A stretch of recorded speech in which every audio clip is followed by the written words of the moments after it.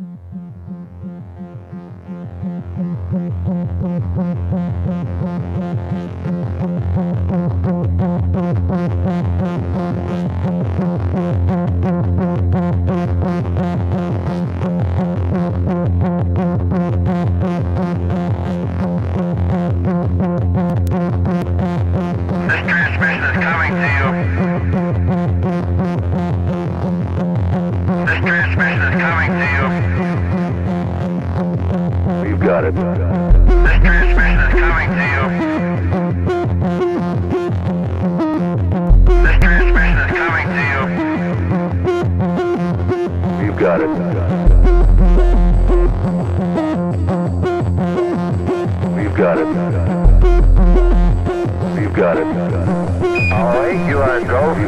Big Brother, mainstream media, government cover ups. You want answers? Well, so does he. He's Richard Wood with Z News.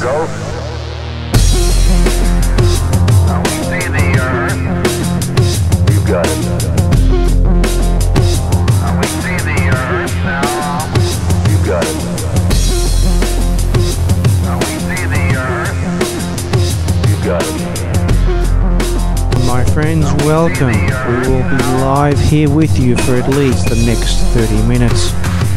If you're hearing this transmission, you are the resistance. Thank you for joining us for this, the 109th podcast edition of Z News, which is a compendium of information on business, finance, economics, and social and political issues worldwide reaching over 10,000 subscribers every Wednesday and Saturday. Parts of this publication are picked up by 60 different websites weekly, exposing our ideas to over 10 million investors a week. It is Friday the 13th, day of May 2011. Coming up on the show today. The trend is your friend. Two sides to every market. And the shortage in silver. In market news, Europe continues to struggle from one problem to another. The euro has been strong only because the dollar has been weak. The governments of Greece, Ireland, Portugal, and Spain continue their balancing acts on the edge of a financial precipice.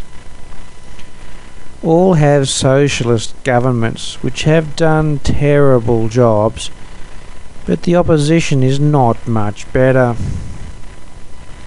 Each economy is in serious trouble, and if Italy and Belgium follow, it will take four trillion dollars to bail them out.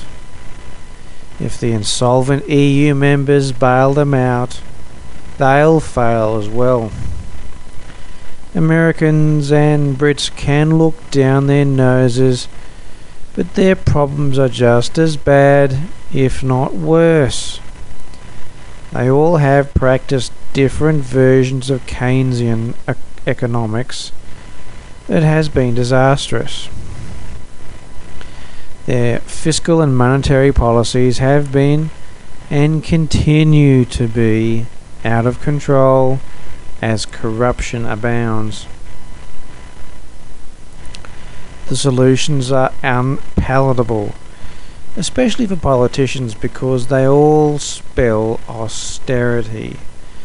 We have just seen the European Central Bank raise interest rates as Eurozone economies slow as they hope to arrest 2.8% official inflation. Real inflation is double that number. We predicted $4 trillion would be needed to bail out Europe some time ago. And Germany and the other solvent nations have come to the same conclusion. Even if it were possible those six nations would live in poverty for the next 50 years. That is hardly a solution. The underlying problem lies with the central banks and the lending banks. Loans to these nations, for whatever reason, should have never been made in the first place. The bankers who lend money that they create of thin air knew what they were doing and they knew full well the risks they were taking. 80% of the blame lies at their feet. Thus, 80% of the bill is their responsibility, not that of the taxpayer of these countries. Months ago, Germany was offered 50 cents on the dollar to settle its debt owed by Greece. The offer was rejected. In time, that rejection will be viewed as a major mistake. As a result, Greece's Illuminist president is in the process of laying plans to collateralize new debt repayment commitments with Greek assets such as islands, ports, the rail system, the electric and gas companies, and any asset not nailed down. That is why George Soros had top people from JP Morgan Chase and Goldman Sachs with him two weeks ago when he attended secret meetings in Athens. The underlying theme is let's steal everything. Greek GDP will probably fall 4% this year as wages and salaries have been slashed. Banks like JP Morgan and Goldman Sachs that create money out of thin air do not care about the money, they want the assets. Central bank bond buyers last year cut their exposure to Greece, Ireland and Portugal. These actions were prompted by concerns over sovereign default and were replaced by purchases of gold. The Eurozone, England and the US have large deficits and only modest growth generated by QE and stimulus. Conditions now question debt sustainability. Debt rollover in Europe is acute, especially for Irish and German banks, with as much as half of their outstanding debt coming due over the next two years. As you know, the IMF and the EU have bailed out Greece and Ireland, with Portugal in process. Spain is next, and that is more than a $1 trillion problem. European banks are buried in Eurozone sovereign debt, which makes them very vulnerable. In fact, bank balance sheets are in terrible straits and need to raise significant amounts of capital to further participate in funding markets. At the present time, they are in no condition to take on more paper. In Greece, the budget deficit may only be 8.1% of GDP, but the economy is stagnant as GDP declines. Overall public debt is about 150% of GDP. We have a difficult time envisioning Greece not defaulting. That is why the money lenders want almost everything the Greek government owns as collateral. The socialist government of Illuminist George Papandreou cannot handle the problem just as his Marxist father Andreas couldn't handle it 25 years ago. Today's Greece is still suffering from terrible decisions made during the 1980s. The bottom line is, Greece probably will default, and they should default. It is the only answer for them and the other five insolvent countries of the Eurozone. All these six countries are victims of one interest rate fits all that we wrote about 12 years ago. There's a disaster waiting to happen. That is why in the first quarter in Ireland, the average house price fell 43% from the peak.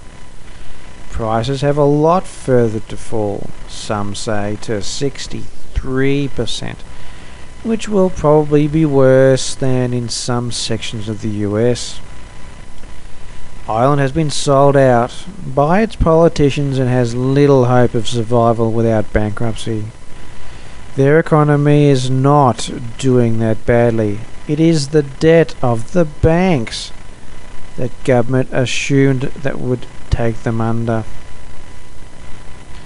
The banks that cause these problems cannot help, or they'll go under, which are just desserts considering they were running a Ponzi scheme. Portugal on June the 5th will probably get a new centre right government. The economy will continue to decline with a budget deficit of 7% of GDP as wages and the living standard declines. Like Greece, Ireland, Italy, and Portugal, should have never joined the euro. The original mistakes to prepare Europe for world government are now coming home to roost. In the late 1980s, we spent a great deal of time in Portugal, and we could see it wasn't going to work.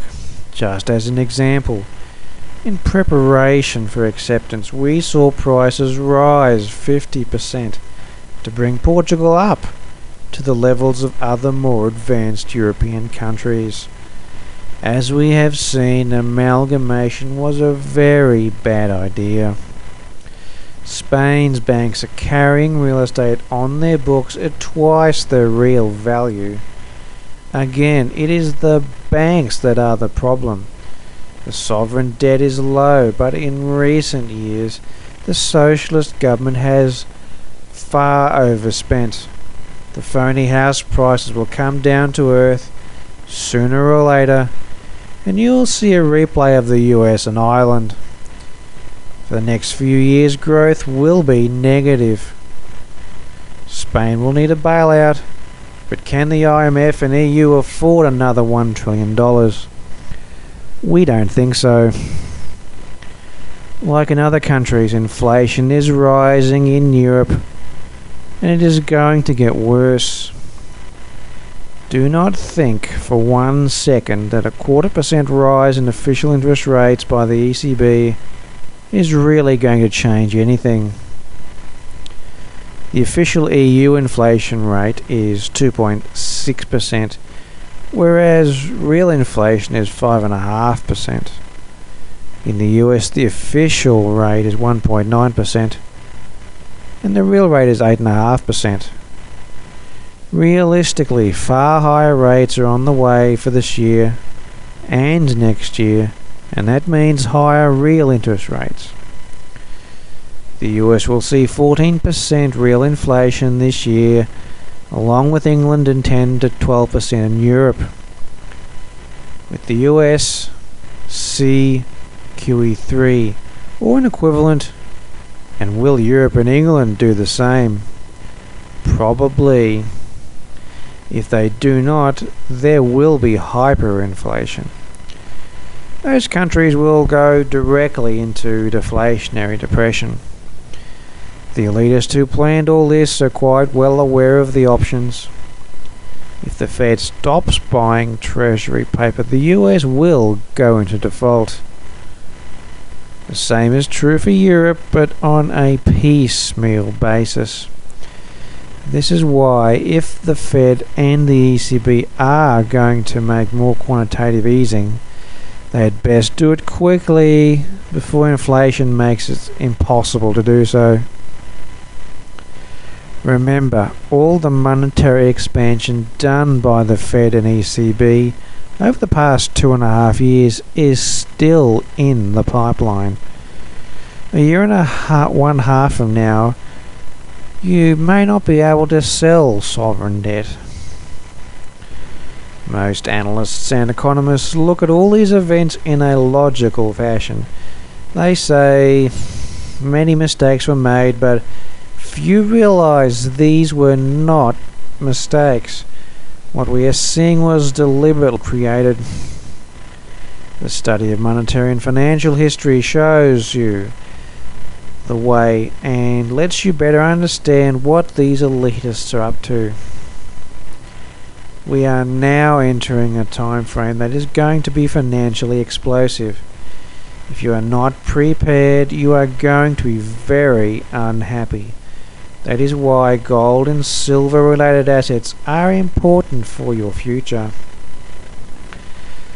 Late word reaches us that Greek bondholders could lose 50 to 70% of their investment if Greece restructures their debt.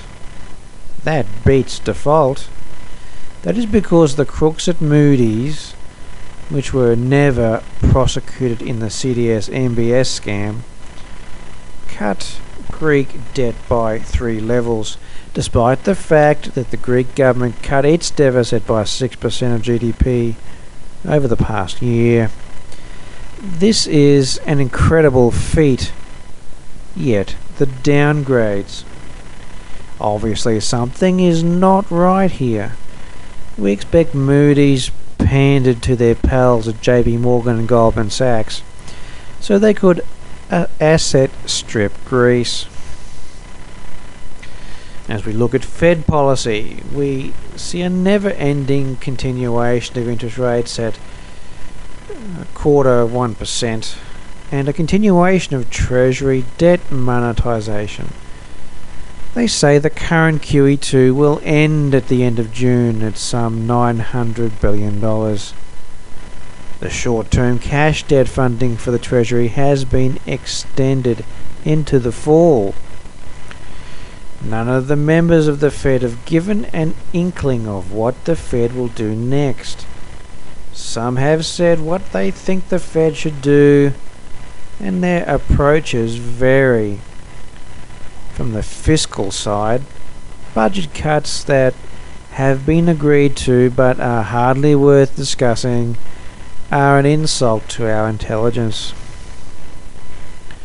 We also ask who is going to fund the Treasury's debt after the Fed stops doing so? The answer is very few, and that means the Fed has to continue or the Treasury will go broke. In 2010, the Chinese bought $260 billion worth. Question is, will they continue? Since November 2010, the Fed has been purchasing $110 billion worth monthly. The Fed has bailed the banking system out with QE1 and QE2, but not the economy. There is no exit strategy. In addition, federal debt is expanding at a 4.6% rate state and municipal debt at a 7.9% rate. Corporate debt has risen 5.7% and household debt 0.6%. As you can see, the Fed is the lender of last resort. Federal government revenues continue to shrink to less than 15% of GDP the lowest level since 1950. Thus, our opinion is that under some other name or guise, quantitative easing, the creation of money and credit, known as monetization, will continue as will inflation. That is very high inflation. This monetization is the linchpin that is holding up the US and the world financial system. As monetization runs amok, there is another side to the story, and that is as bad assets continue to deteriorate. They would be mortgage backed securities and collateralized debt obligations that not long ago sold at par and now sell for anywhere from 15 cents on the dollar to 50 cents on the dollar. As the housing market gets set for another 20% fall, and millions of foreclosures abound. Whether you realize it or not, this tug of war has been going on for 11 years. The Fed is accommodating to the tune of $2.2 trillion over just a year.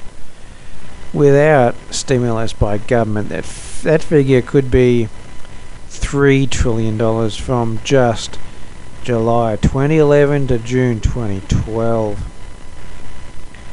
Someone has to tell us how there can be an exit strategy or a tightening. It is impossible. Hanging over the treasury market is the spectre of Japan and the need to fund reconstruction caused by the earthquake. Both Japan and China are trapped in the US dollar holdings as the dollar erodes. The problem is, if these two nations become sellers, that will erode the dollar further.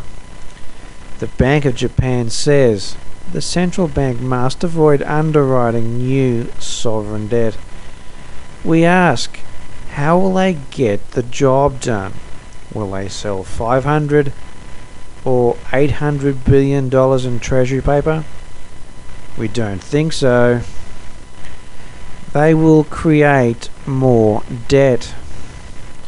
Although we believe the G7 may well have bought $50 billion in treasuries as they weakened the yen from 75 to 86. In time, we will find out if we are right, but in the meantime, hanging over the world markets and the dollar is the problem of finance for Japan. Sales at US retailers rose in March for a ninth consecutive month showing the improving job market is helping Americans cope with higher costs for fuel and food. Purchases increased 0.4% following a 1.1% February gain. It was larger than previously estimated. Commerce Department figures show today in Washington. The median forecast of 82 economists surveyed by Bloomberg News was a 0.5% rise. Sales, excluding automobiles and gasoline, advanced more than projected. After former Federal Reserve Chairman Paul Volcker was appointed in 1979, the Consumer Price Index surged into the double digits, causing the now revered Fed chief to double the benchmark interest rate in order to break the back of inflation. Using the methodology in place at that time puts the CPI back near those levels. Inflation using the reporting methodologies in place before 1980 hit an annual rate of 9.6% in February according to the shadow government statistics newsletter.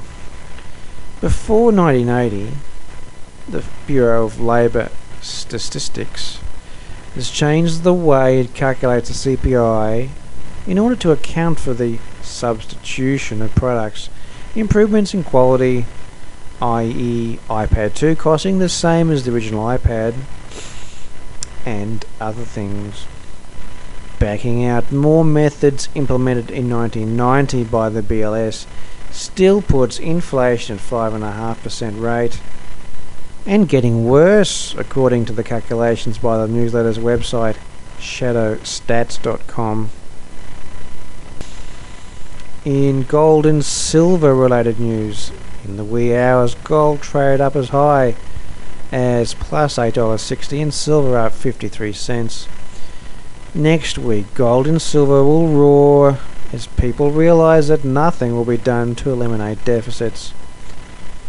In an interview with Germany's Handelsblatt, Dallas Fed President Fisher said he sees the risk of monetary policy being too expansive. Allowing budget deficits to be financed by central banks has always led directly into the abyss.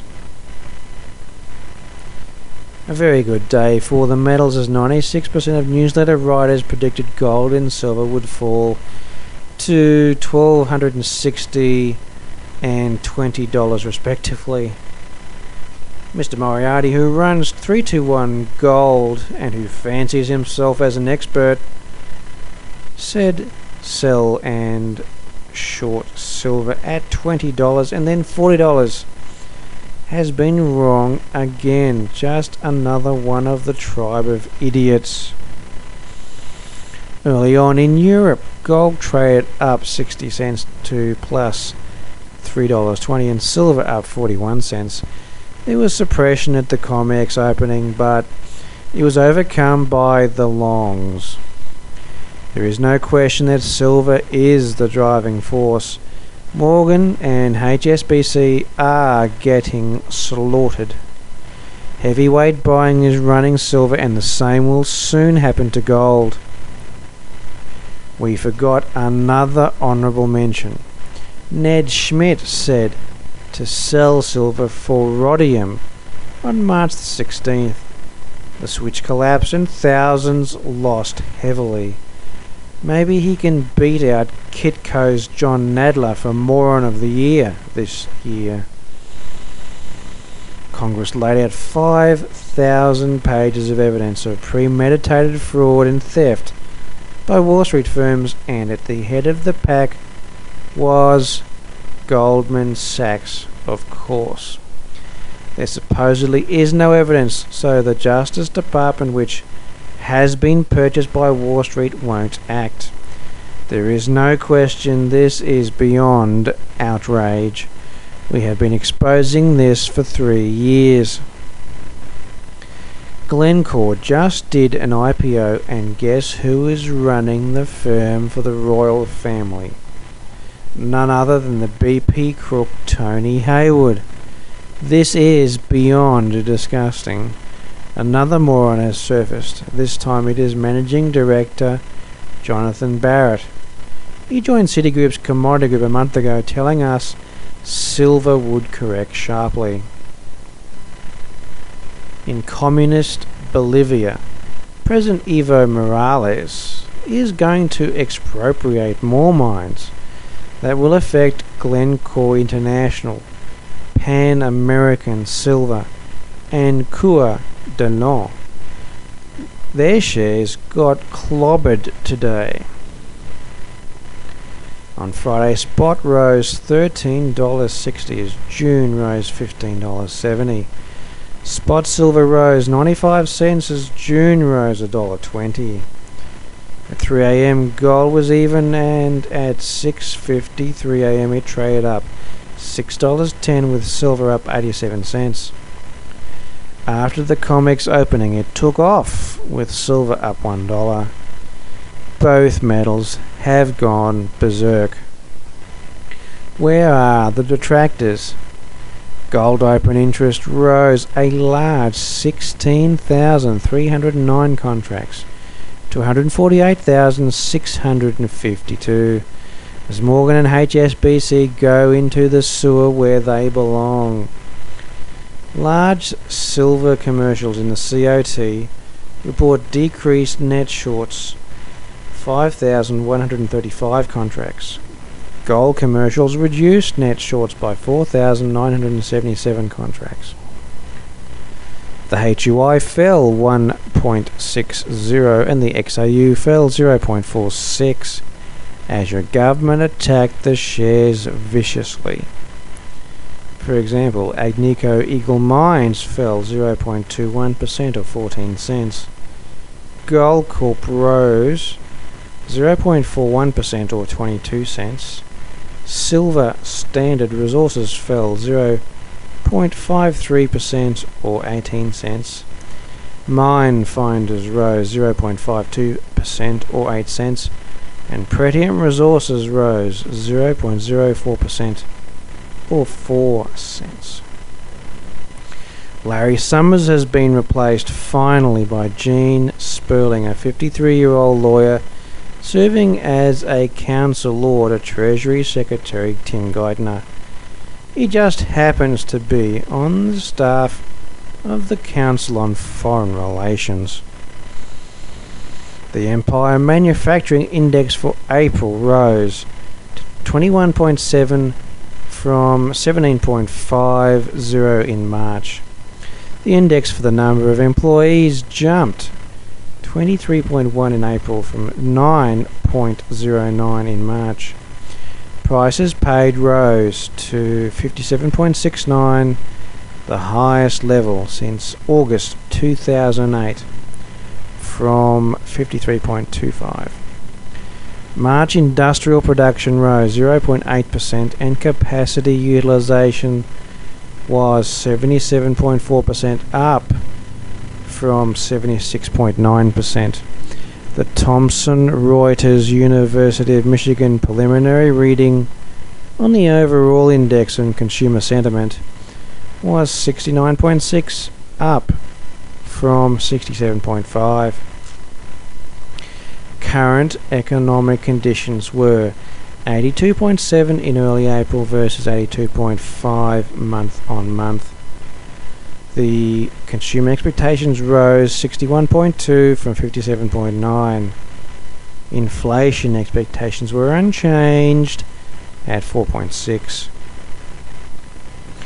The February Treasury TIC figure saw net flows at $97.7 billion versus 32.5 billion in January. Short dated bills rose 97.7 billion also from $51.1 billion. Foreign central banks only had a net inflow of $5.1 billion. China's holding fell to 1.154 trillion from 1.155 trillion dollars.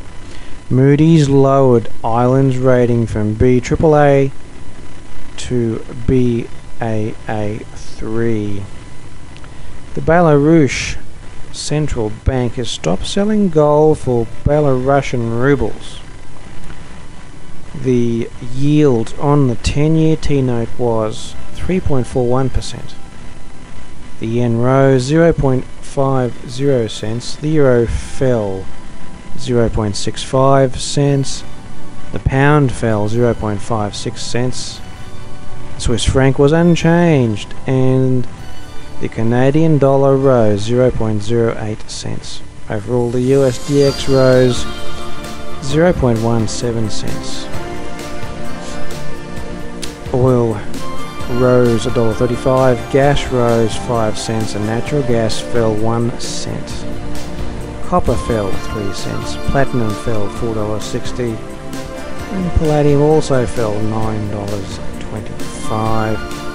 The CRB rose 2.12. Brief, briefly, finally, in commodities news, the Department of Energy reports crude oil inventories rose 1.6%. Distillates fell 2.7 million barrels, and gasoline fell 700,000 barrels. The US Energy Information Administration reports natural gas inventories up 28 billion cubic feet.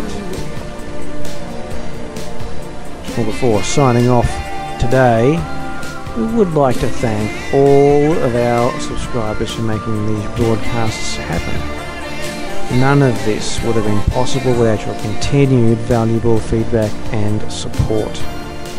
New listeners are able to follow me on Twitter at Richard J. Wood or the Z News feed on our Facebook fan page for the latest stories we are following and to hear my regular radio interviews on the air or online. Also, don't forget to like and also to share these podcasts with your Twitter followers and your Facebook friends. Coming up on the program tomorrow, Europe struggles with financial weakness, but other nations have those problems as well. 4 trillion for Europe bailout a prediction. And Japan seeks to avoid problems but must create more debt. Be sure to join us then. I'm Richard Wood, And this has been Z News. Because you can handle the truth.